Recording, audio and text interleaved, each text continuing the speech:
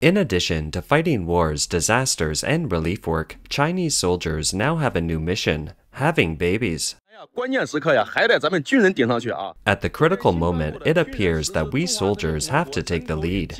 Yesterday, the Army announced its measures for the implementation of the law of the People's Republic of China on population and family planning in the military. Seeing that young people are unwilling to have children and the fertility rate has fallen dramatically, the government has immediately come to think of us, the soldiers of the People's Liberation Army. The new policy promotes age-appropriate marriage and parenthood for military personnel, prioritizes birth and parenthood, and allows a couple to have up to three children. It also adds parental leave and care leave for parents of a single child, improves childcare and education, childcare services, and other programs, as well as better counseling, healthcare services, and technical services.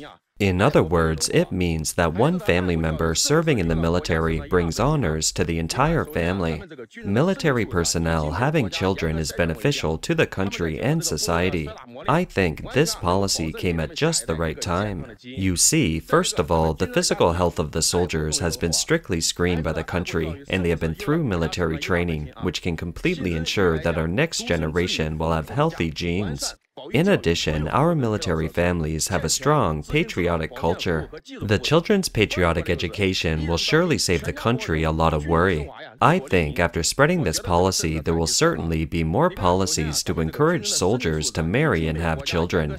I strongly approve this message. I'm one step short of accomplishing my quota. Married comrades in the military, let's go. China's demographic situation has attracted much attention as the growth rate declines year after year. It's expected that by 2023, the number of total annual births may drop to 7 or 8 million. That's a decline of 40% in five years, and millions short of the death rate. Now China is looking for a military solution to the declining birth rate. On September 7, 2023, the Central Military Commission of the CCP issued measures to encourage military personnel to have more children.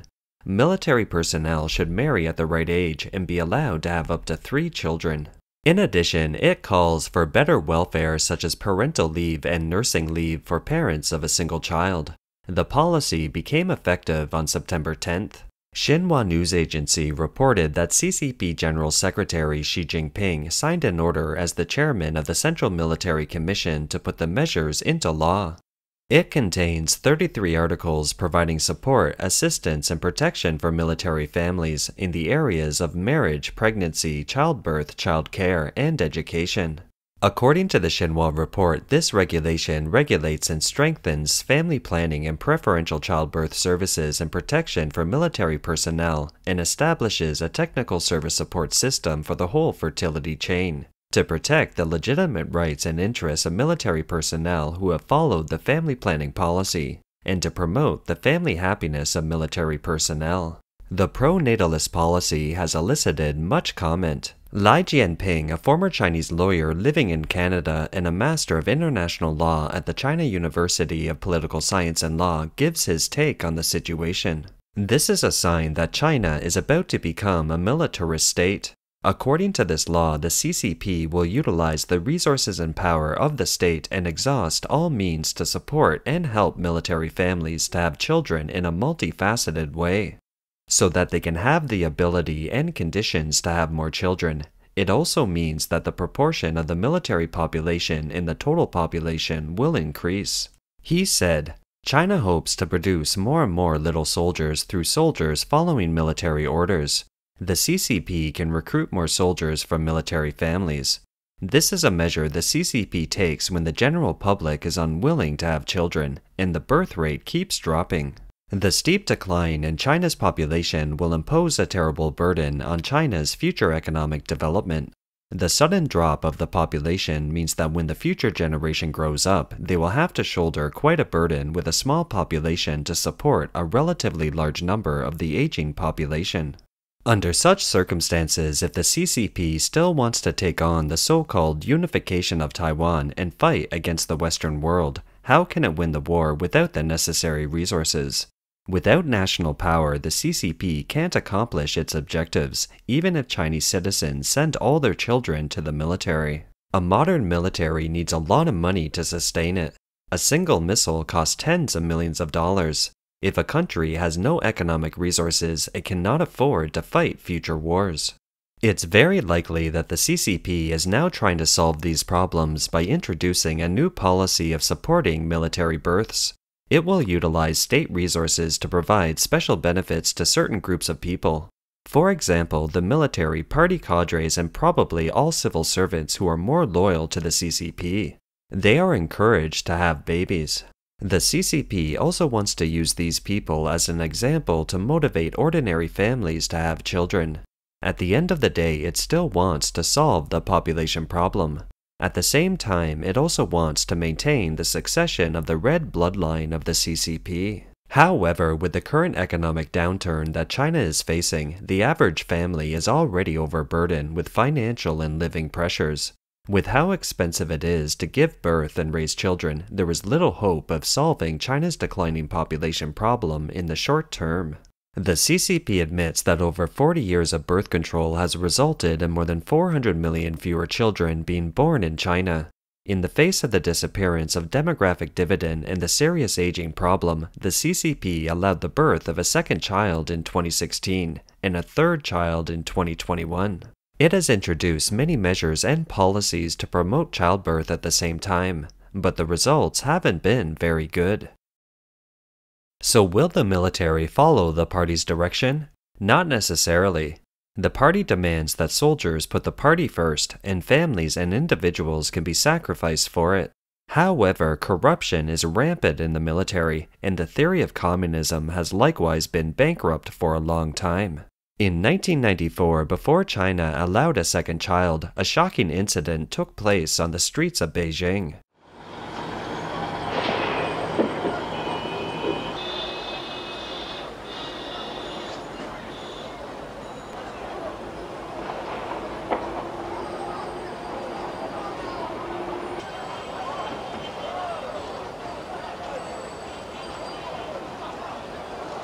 On September 21, 1994, a shootout broke out near the embassy district in Beijing, where an active duty military soldier fought with armed police officers. On that particular day, Canada's major television station suddenly broadcast an emergency live feed. A shootout broke out in the vicinity of the embassy district outside the Jianguomen residential district of Beijing, the capital of China. People saw on the TV screen a yellow taxi's windshield shattered, a two section bus covered in bullet holes, a wounded child of a diplomat crying and screaming inside a vehicle, and armed police and police officers rushing around with guns while gunshots continued to be heard. The Chinese government shut down satellite television immediately after the incident and banned journalists from reporting on the scene. Canadian journalists could broadcast the shootout before the ban because it took place underneath their diplomatic apartment, and also because they anticipated what the Chinese government might do. This allowed a few precious moments of footage to be seen. All Chinese news media were ordered to remain silent on the matter. Only the Beijing Evening News was authorized by the Xinhua News Agency to publish a 100 word story that day. As a result, the price of the newspaper skyrocketed, with the highest price said to have been raised to 50 times its original price. The name of the serving officer was Tian Mingjian.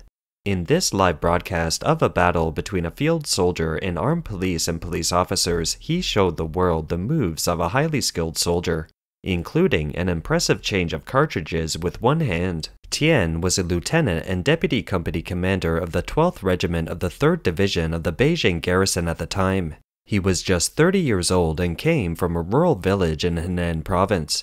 He was a smart, intelligent, hard-working, and highly skilled military man, especially in firearms. He was a master of his craft.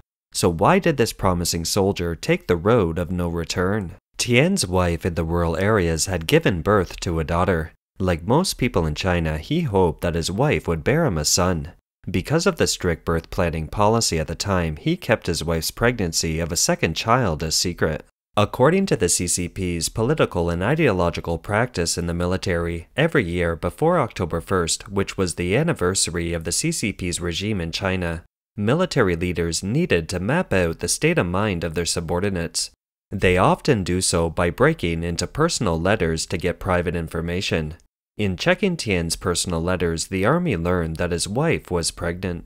If his second child were born, not only would he be punished, but the military officers at all levels, including the company, battalion, and regiment of which he was a member of, would all be implicated.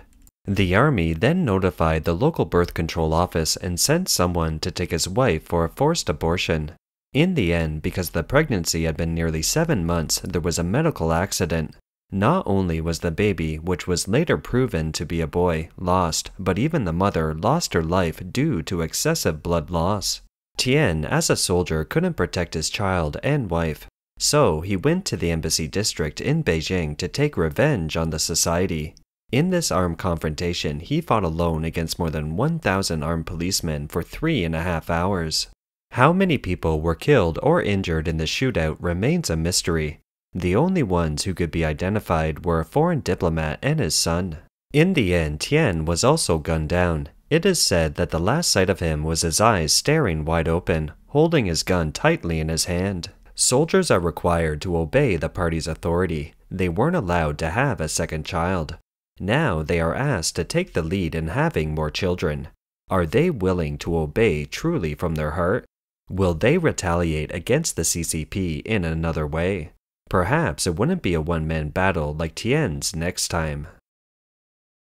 In January 2023, the Chinese government announced that the number of births in China fell below the mark of 10 million to only 9.56 million in 2022. It was only 60% of the 2017 population, a record low since the CCP took power in 1949. Currently, China's fertility rate has fallen from 2.6 children per woman in the late 1980s to 1.15 in 2021, well below the threshold of 2.1 to maintain a normal population turnover between generations. For some experts, China's official figures aren't credible, and they believe the reality is much more serious. China officially discontinued its one child policy on New Year's Day in 2016, allowing couples to have two children. In May 2021, the Chinese government announced that it would further deregulate its birth policy to allow a family to have three children. Some provinces and cities have also introduced their own measures to encourage births. For example, Shenzhen City has launched a consultation draft proposing a three-year cumulative subsidy of 19,000 yuan or US 2600 for families with three children, while a city in Shandong has introduced a policy of exempting high school tuition fees for families with three children, etc. However, these measures have had little effect judging by the published data on the number of births. As previously reported, the education sector, especially preschool education, is the first to experience the impact of declining birth rates. The number of kindergarten enrollment has been declining over the years. The phenomena of it's hard to recruit a child emerged. The wave of kindergarten closures around the country has continued to spread. Many places in China have also introduced documents to abolish primary, secondary schools and kindergartens in rural areas. Of course, government documents won't say it straight. They use expressions like guiding advice on optimizing the layout of primary and secondary schools and kindergartens in rural areas. What can be predicted is that the impact of a declining population on kindergartens will continue to spread to primary and secondary schools. The experts analyze that given the declining school age population, the enrollment of students in university will be impacted to a certain extent and many universities will shut down in the future. In July 2023, the Ministry of Education released data showing that in 2022 the number of kindergartens decreased by over 5,000 compared to 2021, and the number of children enrolled in preschool education decreased by almost 1.8 million compared with the previous year. There were 5,162 fewer general primary schools in China than in the previous year. Enrollment at the elementary school level was 811,900 fewer than the year 2021. Enrolled students were 478,800 fewer than 2021. Total classes at the elementary school level were 23,200 fewer, and there were 6,690 fewer elementary school teaching points than in 2021. At present, the main body of China's childbearing population consists of young people born in the 1980s, 90s, and 2000s. Currently, the number of young people who are single, unmarried, and infertile is on a gradual and growing trend. Despite incentives from the government, why are they still reluctant to have children? In a previous episode, we aired a man's monologue in which he explained why he didn't want children. We have included it here. Why am I childless? Folks, is it because I'm infertile? Absolutely not. As of now, my body is healthy. All health indicators are roughly normal. I have no children purely because I can't afford them. I mean, I can support them in terms of survival, but I can't raise them well. If it were only a matter of adding a pair of chopsticks, a bowl of rice, and raising children to work in a farm field, I have more than enough. But if I were to provide them with a scientific diet of safe, non-polluting staple foods and complementary foods, vitamins, and nutrients to arrange preschool tutoring classes, or if I were to have them learn piano, dancing, English, painting, and swimming, to have them work out in a gym and attend a private school, to have private lessons at home when teachers don't teach at school, or when they fail to get into a university of 985. I was able to send them overseas to study, and when they returned, I would have their wedding gifts ready and help them buy a home with two bedrooms plus a car. And finally, they gave me some fat little grandson. If I were to raise children by these standards, I can't do it. Maybe people would ask why you need to meet those standards. Who is forcing you? If you can't afford private schools, then attend public schools. If you can't afford piano lessons, then learn some folk art, like clapper talk. Problem solved. Nope, that won't do. Who is forcing me? The general environment. Everyone is doing it. Can you avoid it? As the saying goes, do you want your children to lose on the starting line? It doesn't matter if it works or not. If other people's children are doing it, I must let my children do it as well. Look around. Parents nowadays all seem proficient in playing music, chess, books, painting, martial arts, and calligraphy. Their children might not be as good, but anything less would mean they won't be as competitive. Not to mention extracurricular classes. At 7 a.m., the kid needs to go to school. Who will take him?